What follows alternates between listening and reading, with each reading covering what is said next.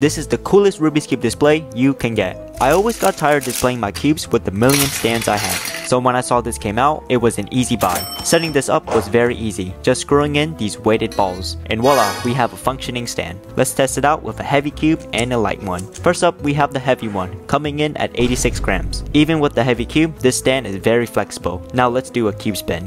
And now a spin. Whoops, those silver balls are heavy. Okay, now let's try the light cube. It comes in at 64 grams, so it's 20 grams lighter than the other one. This stand works by these weighted balls that alter the center of gravity, which makes this cube able to spin around, which is why